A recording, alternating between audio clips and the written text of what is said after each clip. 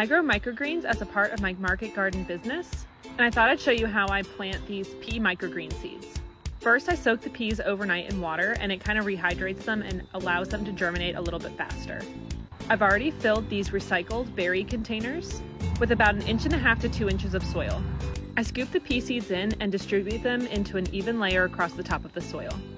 I will further water them in to give them enough moisture to continue to germinate over the next three to four days. Getting one tray done takes about 30 seconds or so. And once I'm done that next tray, I just continue on with each tray after that and stack them on top of each other. Instead of putting soil on top of the seeds, I stack the trays to create the darkness that the seeds will need to germinate. If you use soil on top of your seeds, you'll end up with dirty microgreens, and they're very difficult to wash, so this method works a lot better. Once they germinate, you can easily pull them apart and place them under light so that they continue to grow into your microgreens. I use this method for all types of microgreens. Follow for more.